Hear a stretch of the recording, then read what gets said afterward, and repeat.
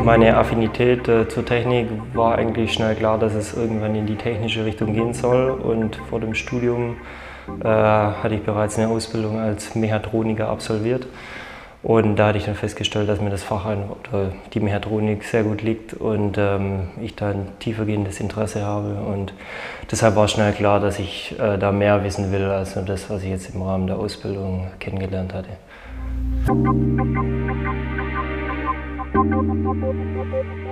Ja, Mechatronik ist ein sehr interessanter Studiengang, da man ähm, sehr viele Möglichkeiten hat, in die verschiedensten Richtungen zu gehen nach dem Studium, da ähm, man im Studium äh, sowohl Maschinenbau als auch Elektrotechnik und äh, Informatik, äh, das sind die Möglichkeiten wirklich sehr groß und wahrscheinlich sind die Möglichkeiten in kaum einem anderen äh, Ingenieurstudiengang ähm, vielseitiger.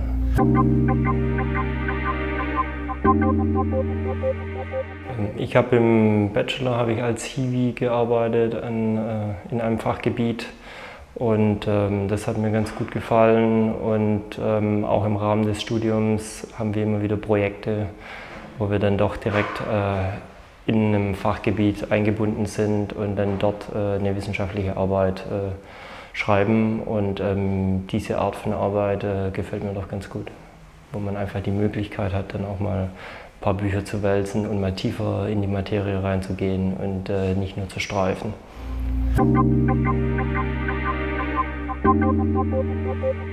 Der größte Pluspunkt von der TU Ilmenau ist, ähm, dass äh, der Campus sehr familiär ist. Ähm, dadurch, dass äh, die Studentenzahl nicht so groß ist, verglichen mit anderen technischen Universitäten, kennt man sich einfach.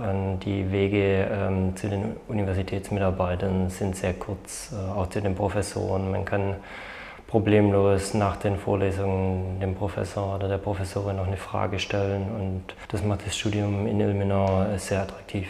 Im Speziellen dann äh, durch die internationale Ausrichtung in vielen Studiengängen, ganz speziell in der Mechatronik, wo es auch Kooperationen äh, mit einer französischen Universität gibt. Das war dann für mich letztendlich ausschlaggebend für Ilmenau.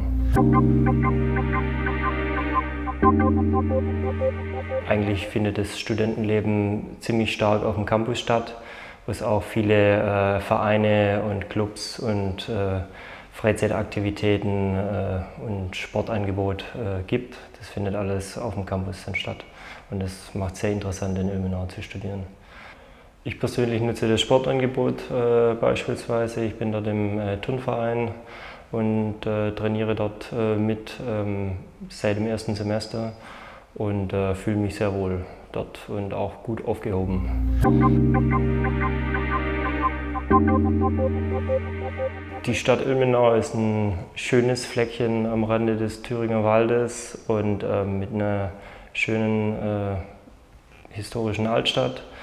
Und da kann man dann im Sommer auch mal schön Eis essen mit Freunden. Und ähm, sobald man sich aus Ilmenau raus bewegt, äh, findet man sich direkt im Grünen wieder. Der Thüringer Wald äh, liegt direkt vor der Haustür mit einigen Bergen und die bieten sich natürlich auch für Freizeitaktivitäten an. Wer gerne wandert oder äh, Mountainbike äh, fährt, der ähm, trifft es in Ilmenau ziemlich gut.